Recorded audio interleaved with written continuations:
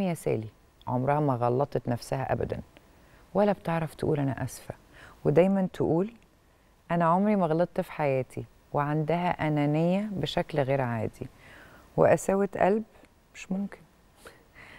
حسب ما قريت شوية في علم النفس تابعت المصطلحات اللي بقت منتشرة على السوشيال ميديا لاحظت إن أمي بينطبق عليها كل الصفات الموجودة في الشخصية النرجسية.